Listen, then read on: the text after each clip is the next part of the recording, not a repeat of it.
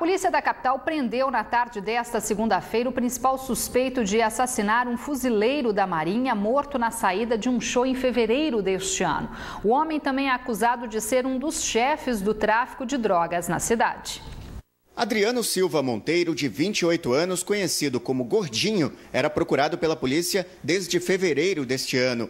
Policiais do Grupo Fera o prenderam em um condomínio na Zona Norte. Ele é o principal suspeito de ter matado Leandro dos Santos Rocha, de 21 anos. O fuzileiro da Marinha, baiano, se envolveu em uma briga durante o show da banda Chiclete com Banana em uma casa de espetáculos localizada na Avenida do Turismo, na Zona Oeste de Manaus, no último dia 16 de fevereiro. No estacionamento, ele foi atingido por três tiros. Na ocasião, outros dois fuzileiros foram agredidos, mas sobreviveram e ajudaram a reconhecer e apontar o criminoso.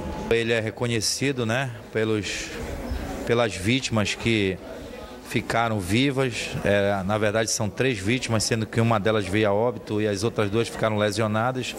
As outras duas o reconhecem como um dos, dos elementos que atentou contra suas vidas. Então, em função disso, nós representamos, eu e a doutora Débora, que é responsável pela área onde o crime ocorreu, é, representamos pela prisão. Ontem ele foi preso pela equipe da Força Tarefa e depois recambiado aqui para a delegacia de homicídio, porque ele está com dois mandados de prisões em aberto, sendo que um por tráfico e outro por por homicídio.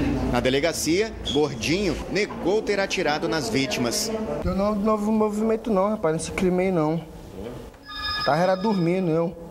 A prisão de Adriano Monteiro também é considerada pela polícia um tiro certeiro no combate ao tráfico de drogas aqui na capital. Ele também é suspeito de fazer parte de uma facção criminosa que distribui drogas em Manaus.